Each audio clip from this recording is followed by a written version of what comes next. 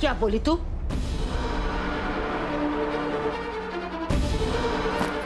वांदरे क्या बोली तू? हाँ क्या बोली तू? दूसरी बार अगर शक्ति के बारे में कुछ भी बोली तो आँख लगा के दूँगी तुझे। तुझे पता भी है तू किसके बारे में बात कर रही है? पता है ना तुझे? क्या बोली थी? तू मेरी बहन नहीं है।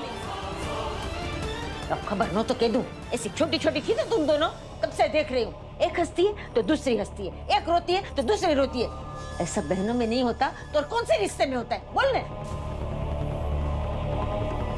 एक ने मांगा और दूसरे ने मांगने से पहले दे दिया। ऐसा बहनों में नहीं होता तो कौन से रिश्ते में होता है? बोल, जवाब दे। एक बार नहीं, लाख बार, आज तक तेरी हर गलती पर इसने पर्दा डाला है। तेरे लिए वो सबसे लड़ी, मेरे साथ, तेरे पापा के साथ पड़ोसी के साथ टीचर के साथ सबके साथ। ये अगर बहनों में नहीं होता तो किस रिश्ते में होता है?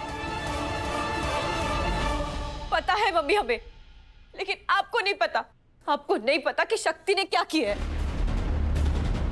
क्या किया? है?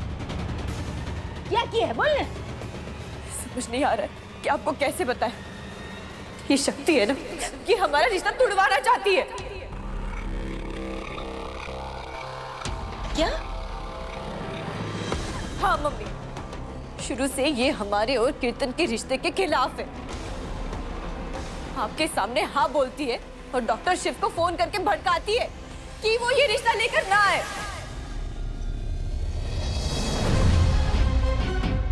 क्या? सत्ती क्यों?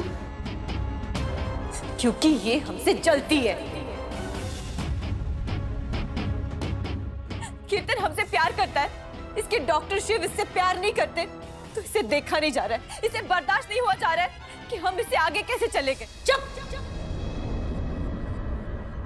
एकदम चुप हाँ? सत्तूरी को कीर्तन पे शक था। अरे सत्तूरी की छोड़, मुझे भी उस पे शक था। तो क्या मैं तेरी माँ मिट के तेरी आंटी बन गई? नहीं ना अरे डोबी उस पे शक था। तभी तो मैंने शर्त रखी ना कि रिश्ता वो लोग लेकर आए। अभी रिश्ता लेकर आ गए शक दूर हो गया बात फिनिश। लेकिन ए, लेकिन लेकिन तेरा चूल्हे में डाल। और आज के बाद अगर तूने मेरी सख्तुली पे एक उंगली उठाई ना तो मैं तेरे कीर्तन पे पूरी दस उंगलियाँ उठाऊँगी। समझी ना? और याद रखना आज तक तेरे माँ बाप ने तुझे जितना प्यार नहीं किया ना उससे ज़्यादा प्यार ये शक्ति ने तुझसे किया है। अरे तेरा कीर्तन वीर्तन? अरे उसका प्यार तो इसके प्यार के सामने पानी कम चाय है समझी? मनोरमा मनोरमा आई। ए, तेरे जो गंदे दिमाग में जो कुछ चल रहा है ना और यहाँ ये कमरे में जो कुछ भी हुआ उसकी भनक तक तेरे पापा को नहीं लगनी चाहिए। खबर ना तो कह दू जब से तेरा रिश्ता टूटा है ना बहुत परेशान रहते हैं वो। डॉक्टर ने तो उनका अस्थमा का डोज भी डबल कर दिया है। अगर उनको दोबारा कुछ हुआ ना तो चोई ले जाओ तू ए दोनों अपनी शकल ठीक करो और बाहर आओ चुपचाप समझे ना